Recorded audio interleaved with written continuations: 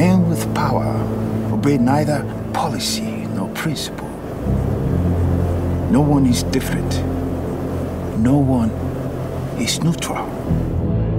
If Superman were here, what would you want to say to him? That my family too had dreams.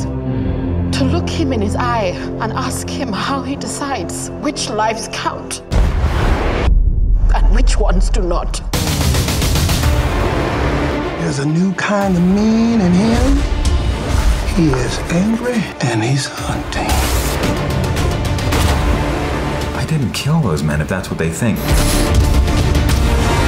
This is what makes you such a good reporter. Stuff like this still shocks you. I'm older now than my father ever was. This may be the only thing I do that matters. So falls the house of Wayne.